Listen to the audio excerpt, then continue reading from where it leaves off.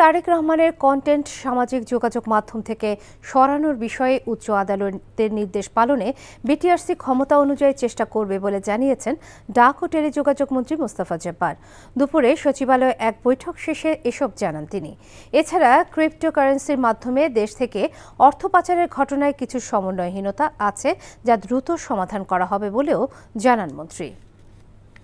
যেই ঘটনাটা দুবাইতে বসে কেউ একজন ঘটাচ্ছে ক্রিপ্টোকারেন্সি দিয়ে লেনদেন হচ্ছে, শত শত কোটি টাকার লেনদেন হচ্ছে, সেই ঘটনাটা যতক্ষণ পর্যন্ত দৃশ্যমান পর্যায়ে না আসে, কারও তো এরকম অবস্থা নাই যে তিনি অদৃশ্য জিনিস দেখার মতন ক্ষমতা রাখেন। এইগুলোর ক্ষেত্রে আমাদের মনে হয়েছে যে কিছু সমন্বয়হীনতা আছে। এই সমন্বয়হীনতার জায়গাগুলোকে যদি গ্যাপটা পূরণ করে দেওয়া হয়, তাহলে ভবিষ্যতে এই ধরনের ঘটনা যাতে না ঘটে, সেরকম একটা পরিস্থিতি তৈরি করা যাবে। তারেক রহমানের বিষয়টা হচ্ছে, আদালতের নির্দেশের কপি আমাদের হাতে পাওয়ার পর থেকে আমাদের যেইটুকু ক্ষমতা আছে, আমরা আমাদের এই ক্ষমতাটুকু কাজে লাগাবো। রোকসানা রোকসানা, তুমি কি আমার কথা শুনতে পাচ্ছ? এই দিন হলো সেই দিন।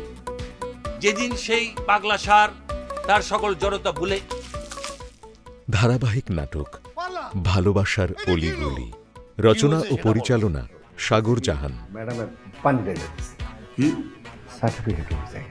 তুমি কি আসলে ভাইয়া বলো তো?